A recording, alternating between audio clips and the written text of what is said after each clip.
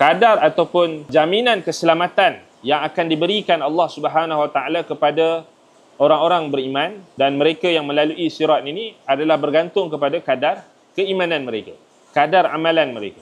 Sebab itu Imam Al-Barbahari dia sebut di situ mereka mempunyai cahaya yang menerangi mengikut kadar iman mereka.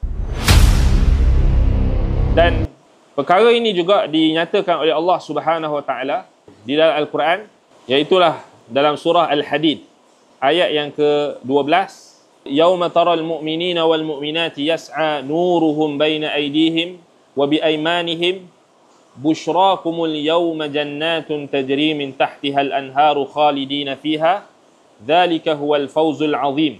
Yauma taral mu'minin maknanya Nabi sallallahu alaihi wasallam akan berada di penghujung titian sirat maknanya di, di hadapan syurga.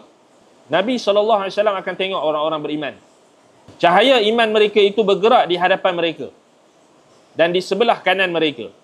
Serta dikatakan kepada mereka, yakni dikatakan kepada mereka oleh para malaikat, Bushrakumul yawma.